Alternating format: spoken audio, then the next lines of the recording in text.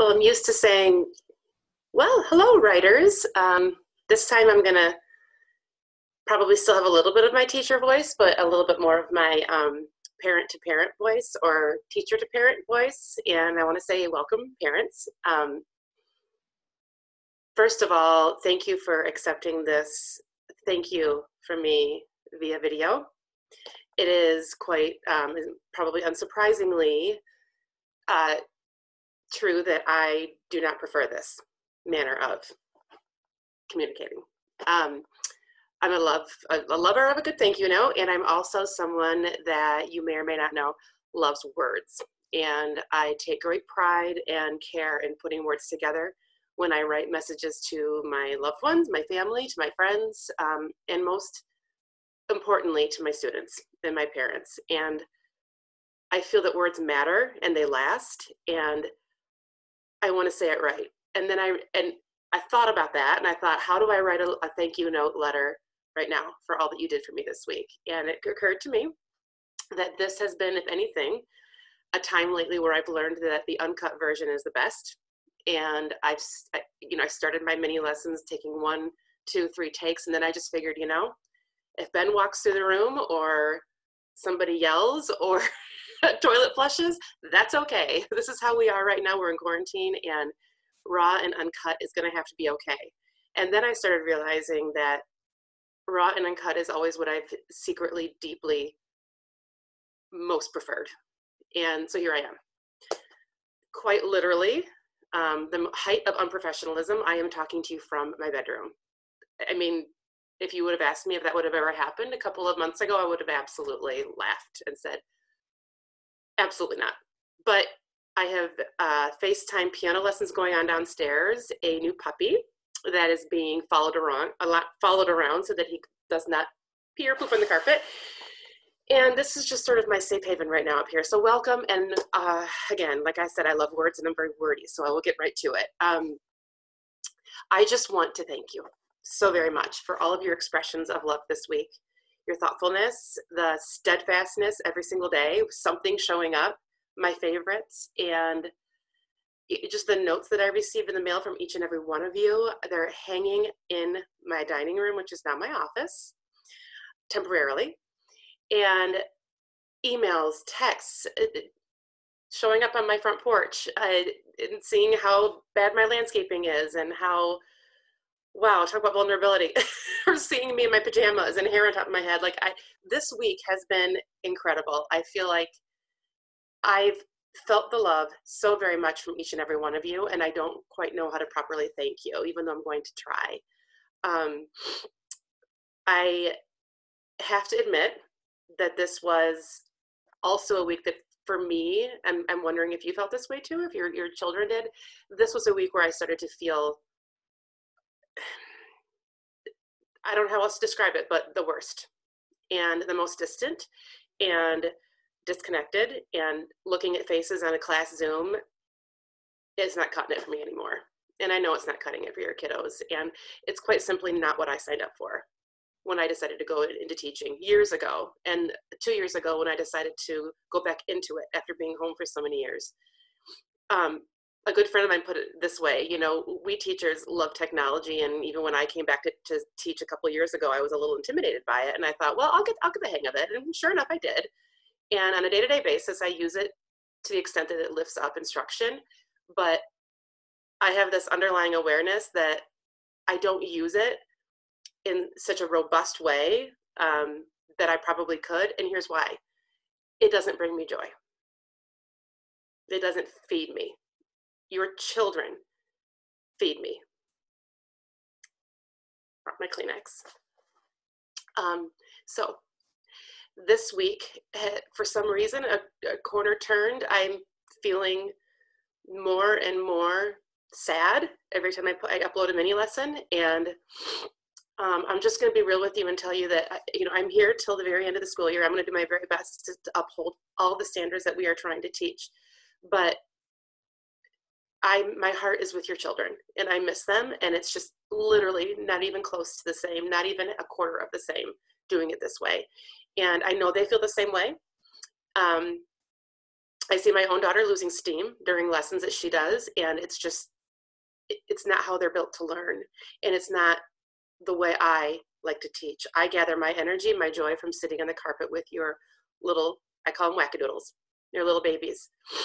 Um, one little child's expression that he makes when he's excited, his, his big, beautiful eyes, another child's sort of like grumpy look that I know means he's just trying to figure it out, or another child's constant interrupting, but it's just because she's excited. All the little isms that make your children who they are, I miss them so very much. And that's what it means for me to teach is to be side by side with them, writing with them, talking with them, listening to them. And this venue does not provide for that. And we all know it. So this week, the expressions of love and gratitude, while they have been felt so richly, they have also been a stark reminder of just how much I miss everybody, including you, parents. Um, you all make your way into my heart. Maybe it's because I am a parent, but I've said this before. Um, your children are my children, and I know that teachers like to say that. Maybe they don't. I, I don't know, but I, it is absolutely 100% true.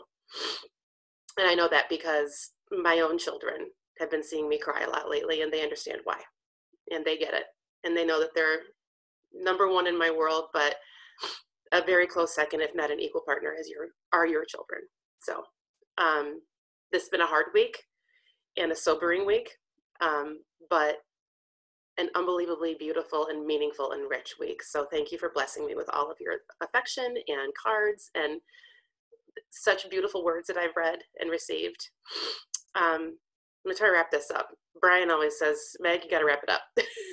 so I'm gonna try to wrap it up. So I like a good quote.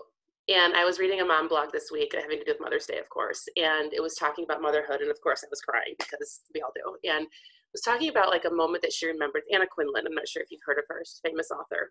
Um, and she was talking about a photograph that she had of her children laying on a, on a blanket in the backyard on a random summer day having a picnic and how the, pic- the picture brought back so much joy. Her two children, ages 10, 8, and 4. And I immediately in my head went to Ben, John, and Fran, and I thought I can picture that day. Um, and her comment was she wished, she wondered if she appreciated it as much as she could have. She wished she could go back and remember what they had for lunch that day and what the sky looked like or what they were talking about or what sounds they were hearing. And I had to smile because I know that as as parents, we can't help but be in the moment all the time. And as much as it's sad to think about those days gone by, I know that I was one of those moms who was there in the moment every single moment and that I could be. And I'm grateful for that. And it got me thinking about your children. And it's, I've, I've had many people say they feel like they got robbed of time. And that is how I feel um, I, I don't have that chance to say properly, just properly say goodbye, to have those hugs in the last day that always kill me, but mean so much. It's closure. um, I was looking forward to having black yarn. They told the I told the kiddos that we were going to have black yarn that was supposed to resemble our black rug to weave memory books together at the end of the year. And somebody asked me that once recently in, a, in office hours if that was going to happen, and I gave sort of a best answer I could and then went and cried after. Um, so what I'm going to apply to this heartache though is what I apply to that memory of my parenting is that even though we all got robbed, and I know that if your kiddos feel like they got robbed, I promise you my grief is 5,000 fold. So what I'm choosing to do is to trust in the fact and know that I was in the moment every single day with your children. And loved on them and I still love them so very much.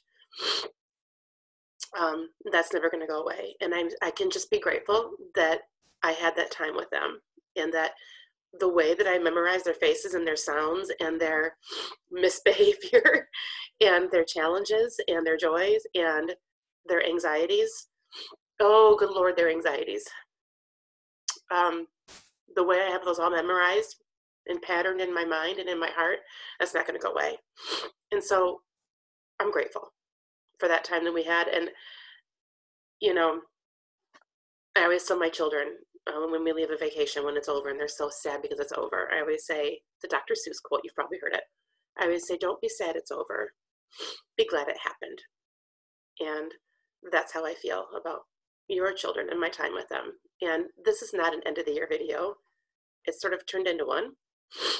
But I just want to say from the bottom of my heart, um, thank you for everything this week. It has meant the world and touched me so very deeply that even though I probably talked now for about 15 minutes, I still don't feel like there are adequate words to express my gratitude. So please accept this video as a form of thank you, and I will look forward to seeing you and being with you as we continue these next few weeks.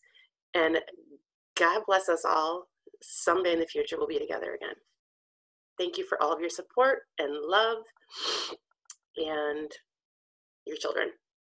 All right, off you go.